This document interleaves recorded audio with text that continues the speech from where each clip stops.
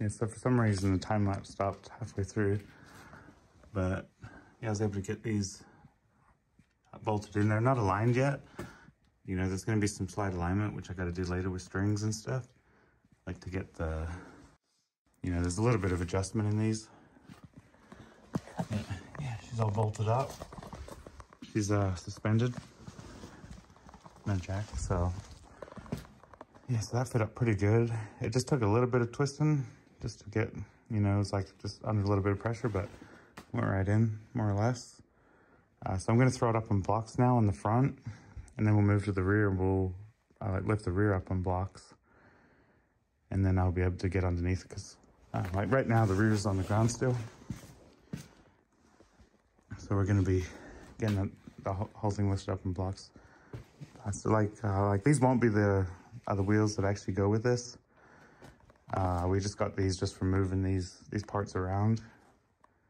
But uh, we're gonna be getting a different set of wheels and tires. But, so I'm gonna set this thing up on blocks now and get to the next part.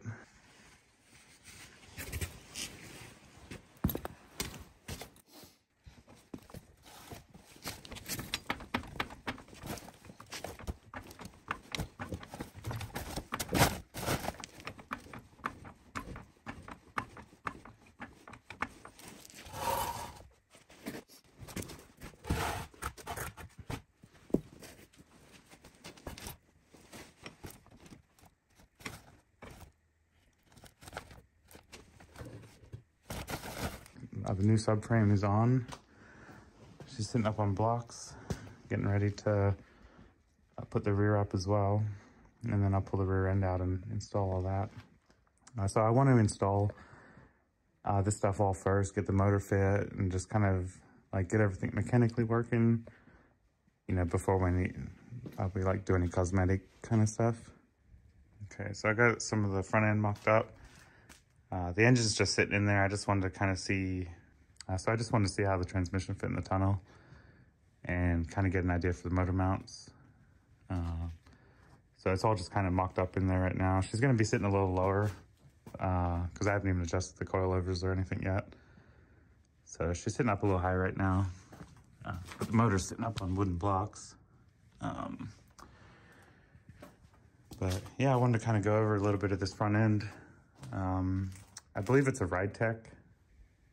So my customer got this kit used, so we don't really know exactly what it is. It like came off of a, a 68 Camaro, I believe.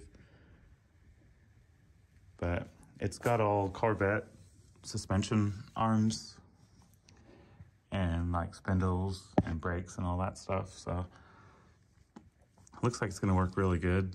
Uh, it's already been already put together and disassembled, so it's kind of like, that's kind of just the way it came.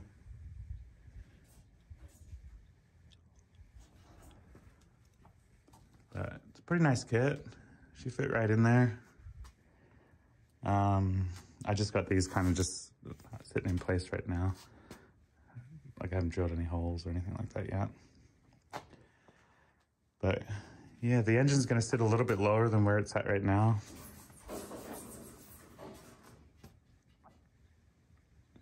There's a squirrel in my shop, I think.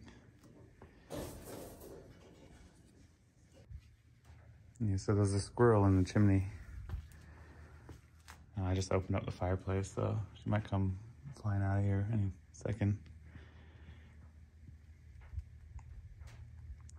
So, um, yeah, the engine's gonna sit a little bit lower because uh, I gotta get a different oil pan for this. This one's just not quite letting us get down to where we want to go. She's just hanging off the strap right there and off the wooden block, but yeah, I wanted to see what I could get out of it. But the like oil pan sits below the, you know, the bottom of the cross member, so that's not good. Um, what else is there? So, uh, so I got to cut these motor mounts off, the ones that came with because uh, uh, they're just not going to work with the ones that I've got. So I'm going to, I got to whack these off once I pull the motor out.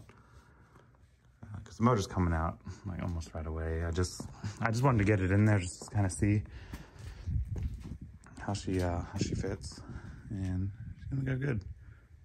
Uh, so I measured for the intake manifold, hood clearance, and the headers and all that stuff too.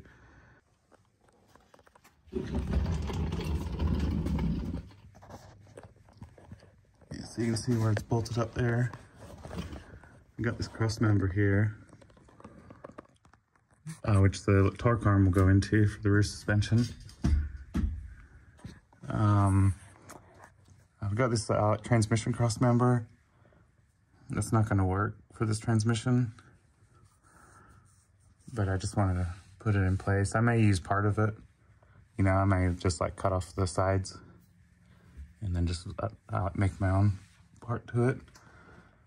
Um, but yeah, this uh, this transmission still got the four-wheel drive output on it. It's gonna get converted to uh, two-wheel drive, obviously. And I'll probably get rid of the original mount too. You know, everything fits fits real nice so far. There's like just enough clearance nearly everywhere. So that was pretty tight there. It obviously pushed up against the sheet metal floor, but that's okay.